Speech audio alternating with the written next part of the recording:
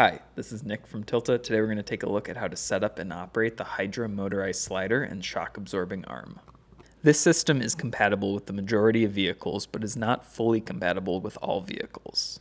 As the manufacturing of many vehicles differ, it cannot be guaranteed that the roof and frame will not be damaged, permanently marked, or dented. Such risks are possible. The system packs up into three cases. Box 1 includes two slider connection plates, an extension bracket, two rosette speed rail mounts, the control module, two backplate speed rail mounts, one center backplate speed rail mount, a control handle with mounting bracket, and two sections of the slider. Box 2 includes two speed rail sets, a tow hitch adapter, five speed rail mounting clamps, three power cables, a front tow hook adapter, a tool set, and five speed rail mounting suction cups. Box 3 includes a shock absorbing arm, a speed rail mounting adapter, a two axis dampening bracket, a shock absorbing head, the motorized slider mounting plate, and a 90 degree extension bracket. We will now show you how to install the Hydra motorized slider and shock absorbing arm in the following quick start guide. We recommend at least two people for installation. You can mount the slider vertically on the front or back of your vehicle. You can also mount the slider horizontally on top of your vehicle. Now we will demonstrate how to mount the slider vertically in front of the vehicle. Remove the slider from the case. It will come in two parts with the rubber belt already installed. Lay the two halves flat on the ground, making sure the quick release plate rests on top. Next, we'll connect the two sections of the slider by using the two side connection plates and securing them in place with a couple of screws. Keep in mind, you may need to use a mallet to perfectly get this plate in position.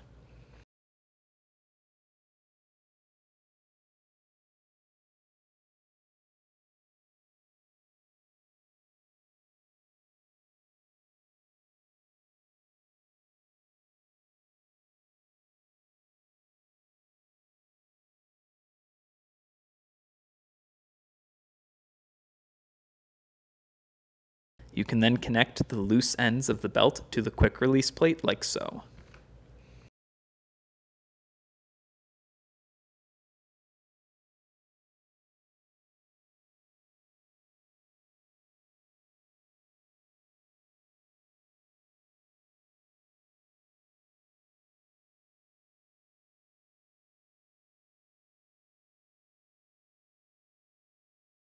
At both ends of the slider, attach the speed rail mounts. Remember the top of the slider is the part with the ports. At the bottom of the slider, install the speed rail mount along the Z axis. This will mount to the tow hook adapter once we extend the speed rail.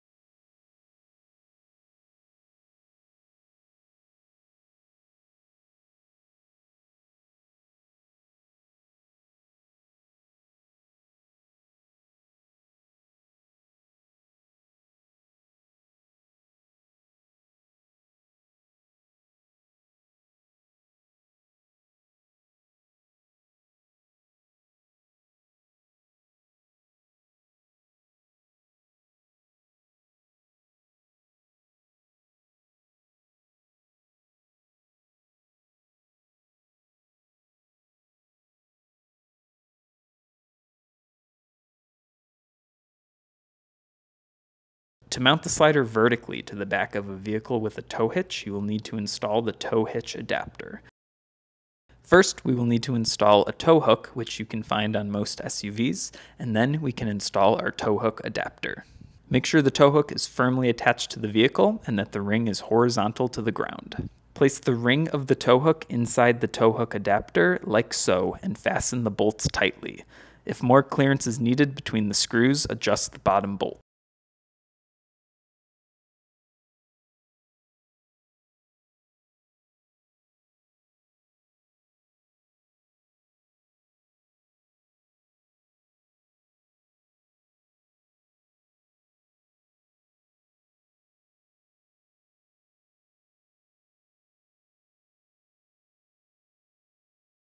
Screw on a small speed rail to the tow hook adapter.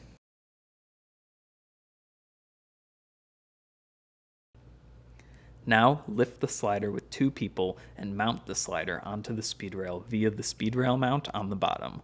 Place the slider in its vertical position and tighten down the speed rail mount.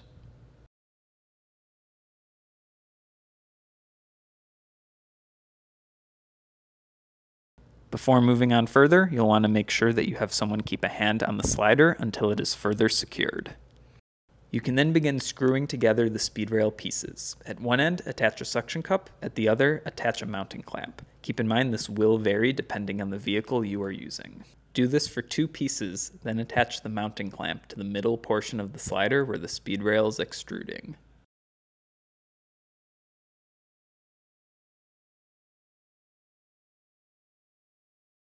Suction cup the speed rail to the hood of the car in a triangular formation.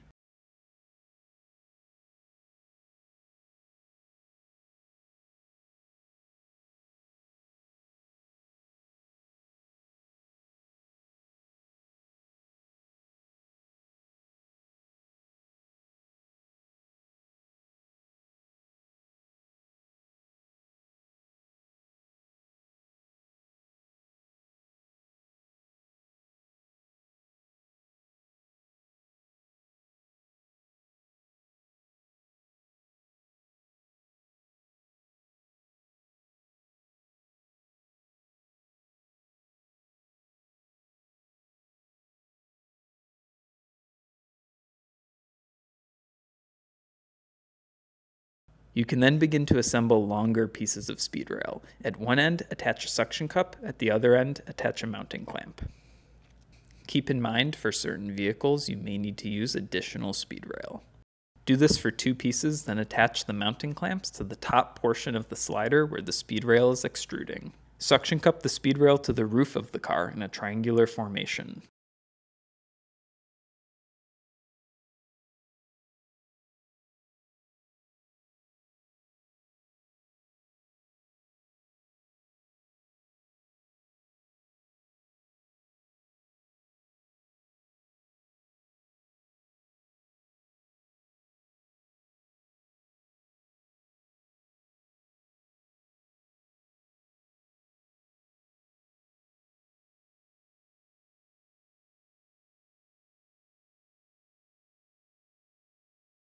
You can then assemble the final piece of speed rail and connect a mounting clamp to one end and a suction cup to the other.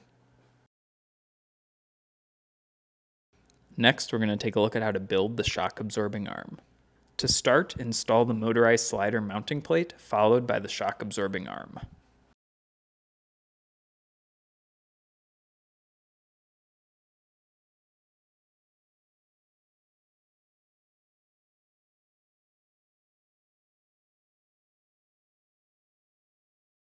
You can then install the 90 degree extension bracket, followed by the two axis dampening bracket.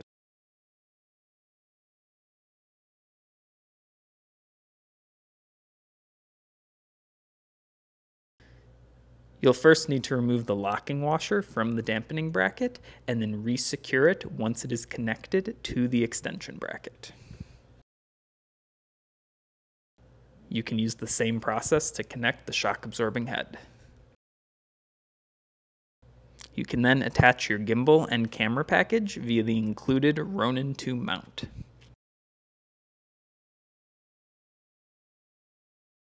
We recommend tightening everything with an Allen key after assembly. Dampening settings will depend on the condition of the road, the suspension of the vehicle, as well as the weight mounted to the arm itself we recommend experimenting with the dampening settings on both the two axis dampening module and the arm itself. The goal is to have the gimbal return to center in a single motion during free fall without oscillating back and forth. Next, you can connect the three cables to the slider.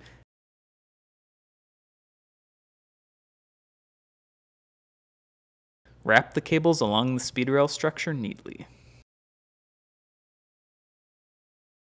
Connect the ends of the cables to the control box.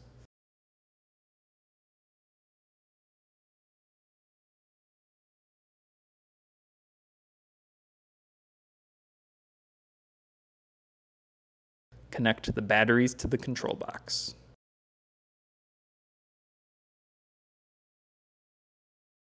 Flip the switch on the control box to the on position, then press the power button and twist the emergency stop button.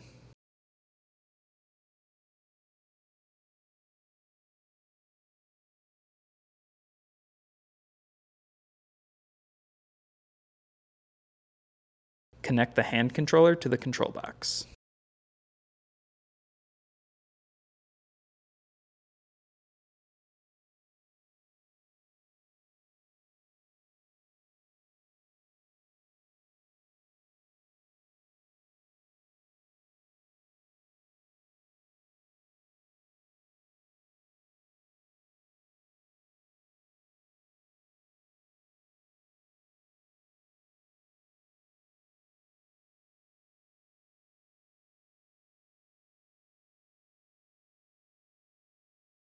You can set A and B marks on the controller by pressing the CAL button for your A position as well as your B position.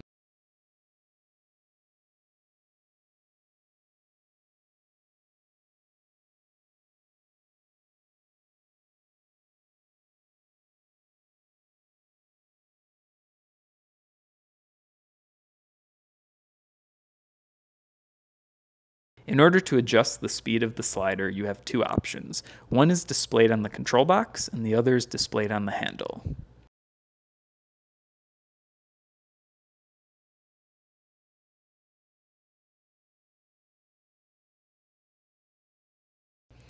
You can press the menu button on the control box and navigate to the speed submenu to select between high, medium, and low. You can also use the dial on the side of the handle to further adjust the speed.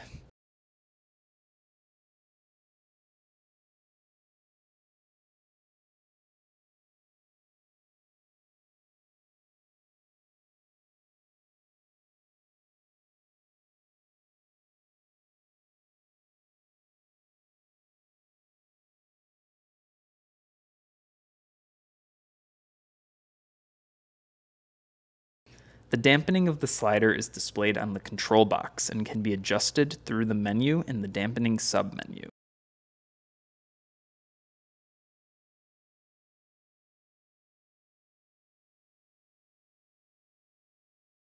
The lower the dampening, the slower the slider will come to a stop. Higher dampening will cause the slider to stop faster. Now we will demonstrate how to mount the slider horizontally to the top of the vehicle. This mode is useful for live broadcasting, such as marathons or cycling races. You can then attach the shock absorbing head via the shock absorbing head mounting plate to the quick release plate of the slider. Please note this mounting plate is not included with the base package. With the slider already connected, install the backplate speed rail mounts to the top and bottom of the slider with small pieces of speed rail protruding. On all four of the speed rail ends, add a suction cup. The back two may need another piece of speed rail and mounting clamps to be used at an angle in order to mount to the back windshield. Adjust the suction cups to level the slider accordingly. Again, the make and model of the vehicle being used will determine the configuration of this build. You can then attach your gimbal and camera package. Next, you can connect the three cables to the slider and wrap them neatly along the speed rail structure before connecting the ends of the cables to the control box. You can then connect batteries to the control box, power on the system, and connect the hand controller. You can then operate the system the same that you could when vertically mounted. This was a quick start guide on how to install and use the Hydra motorized slider. I'm Nick from Tilta. Thanks for watching.